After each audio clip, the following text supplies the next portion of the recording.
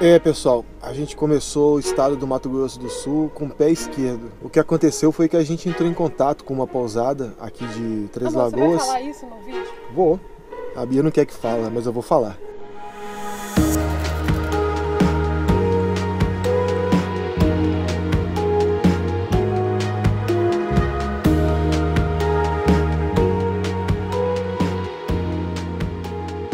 Chegamos no Mato Grosso do Sul! Uhul!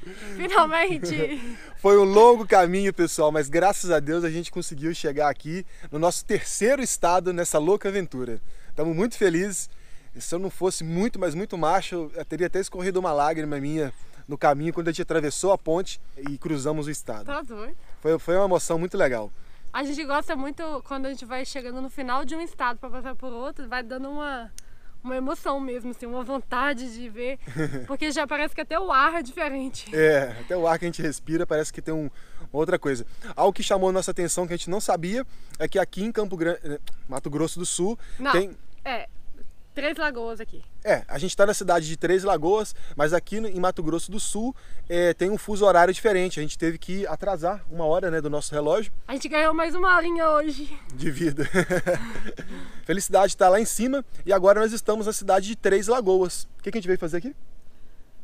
O quê? O que, que a gente veio fazer aqui? Agora a gente está no balneário municipal que tem na cidade de Três Lagoas. A gente veio conhecer o balneário, que é aberto ao público. Só que dia de segunda ele fica fechado, que hoje é segunda e ele tá fechado. A gente conseguiu entrar porque o guardinha autorizou a gente entrar só para conhecer, Conhecer. e vazar, né? Já tem mais de uma hora que a gente tá aqui dentro. É.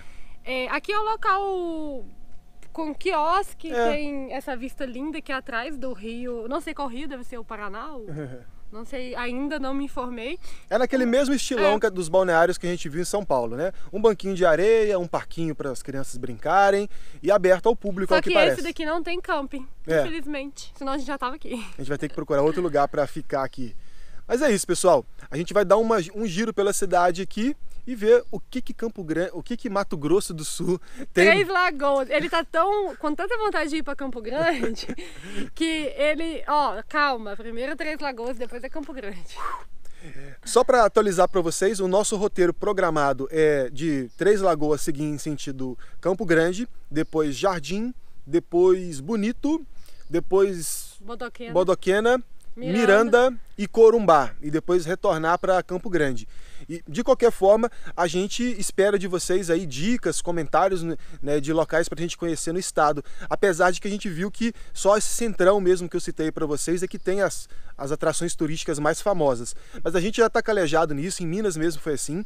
Ah, são aqueles lugares que você não espera muita coisa que você encontra, uns recantos, uns lugares assim gostosos para poder conhecer. E Então, a gente tá muito ansioso aqui em Mato Grosso do Sul pelo bonito, que todo mundo Bonito, fala. Verdade. Esse é o grande sonho né, da gente conhecer. E vamos ver se a gente vai ter cacife né, para pagar todas as atrações de Bonito, que parece que lá é tudo muito caro. É. Mas é isso, vem com a gente.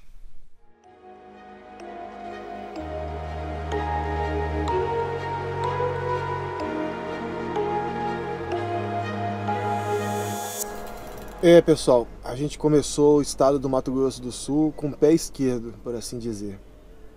Mentira. O que aconteceu foi que a gente entrou em contato com uma pousada aqui de Três Amor, Você vai Lagoas. falar isso no vídeo? Vou. E essa. Tá, então começa de novo então. Não. Já- E essa pousada, pessoal, ela. A Bia não quer que fala, mas eu vou falar. Essa pousada, ela deu a entender que a gente é, ia ganhar umas diárias com ela, entendeu? Elas iam nos ceder umas diárias, a gente achou interessante fazer essa parceria com elas, com essa empresa, porque tem um parque aquático dentro, tem uma estrutura muito legal e tal. E aí, a gente, vocês viram, a gente saiu lá de Santa Fé do Sul, de um camping municipal muito bacana, com toda a estrutura que a gente precisava e veio para cá. Chegamos aqui hoje por volta de duas e meia da tarde e ah, ficamos esperando. A pessoa que, que fez o contato com a gente na empresa pediu para a gente esperar porque tinha que fazer uma reunião com o diretor e tal. E a gente achou que tudo bem, não tinha problema. Isso porque é, eles deram a entender que iriam contratar algum serviço nosso também. Né? Perguntaram o que, que a gente fazia e tal. A gente falou: olha, criação de sites, fotografia e filmagem. Aí eles disseram: Ah, beleza, é, eu acho que a gente tem interesse em um dos serviços de vocês. E aí a gente achou que toda essa burocracia era por isso. Aí chegamos às duas e meia, esperamos para danar. Depois pediram para a gente desse uma volta na cidade, conhecer um pouco, porque eles iam resolver não sei o que lá. Assim fizemos.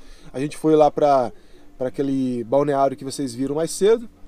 E agora, quando a gente voltou, disseram que não fechou nada. Não tinha nada certo e, e que apertaram nossa mão e, e agradeceram e mandaram a gente para casa. Foi isso que aconteceu. Isso a, por volta de 6 horas da tarde. Agora são 8 da noite. Eu não tive nem condições de gravar nada na hora porque eu estava emputecido. E eu tô nervoso com a situação, não pelo fato da gente não ter conseguido a parceria, sabe? A gente agora está num posto de gasolina, um posto terrível, um banheiro fedido demais, com um chuveiro funcionando e ainda cobra cinco reais, independente se você abasteceu ou não não é a gente não não liga de ficar em posto de gasolina já ficamos várias vezes. Só que eu estou empotecido porque a gente perdeu meio dia de trabalho a gente ficou aguardando que nem bobo. Ah, nós saímos de um camping maravilhoso que a gente poderia ter ficado lá mais alguns dias antes de seguir em direção a Campo Grande.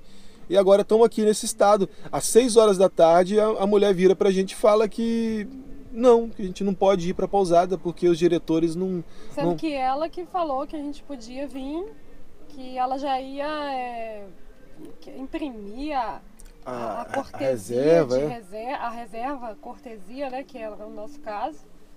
Que a gente, ou seja, foi Dá até vontade de falar o nome da empresa, né? É. Eu, a gente só não quer tocar nome de nada por causa principalmente dela, né? É, que, foi, que, que fez errado com a gente. Eu não vou falar o nome da empresa porque eu acho que é o seguinte: a gente colhe na vida o que a gente planta. Então, a, o nosso intuito não é de denegrir a empresa. Eu acho que até que foi um mal entendido de toda a situação. A pessoa que, que disse pra gente que a gente poderia vir pra cá não é ela que toma a decisão, ela se. Como é que fala a palavra? É... Ah, ela. Ou a gente foi ingênuo demais de acreditar nela, ou ela fez de caso pensar. É, não, ela que foi ingênua, né? E aí, sabe, a gente fez um caminho diferente do que a gente queria fazer, de passeio e tal. E agora estamos aqui, sem banho, num posto de gasolina horrível. E o que mais está me deixando puto ainda é que eu já estava oito dias fazendo o meu desafio de exercícios físicos, todos os dias fazendo exercício físico, mesmo na estrada. E hoje já Tá tarde, já é 8 horas da noite, o posto é de terra batida aqui o chão. Amanhã eu vou mostrar para vocês, pra você ver o nível. Não, não dá nem para poder fazer uma caminhada, ou seja, eu vou ter que pular o dia de hoje da, do meu desafio. É só aumentar um dia, 31. É, é enfim. a gente queria compartilhar isso com vocês porque infelizmente não começamos o estado do Mato Grosso do Sul bem. Começamos sim, amor. Já estamos no Mato Grosso do Sul, esquece isso. Enfim, pessoal, amanhã é um novo Faz dia. Parte. Amanhã é um novo dia, a gente recomeça, né, firmes e fortes, e vamos que vamos. Né? A viagem já está começando, eu acho que a gente está dando sorte de. Isso é um pequeno perrengue no caminho que não vai. Amanhã não vai fazer mais sentido, mas no momento agora a gente está bem chateado. Amanhã a gente se fala. Boa noite. Por que, que quando eu falei para você começar de novo, você não começou? Aquele início ali não tá bom para você colocá-lo.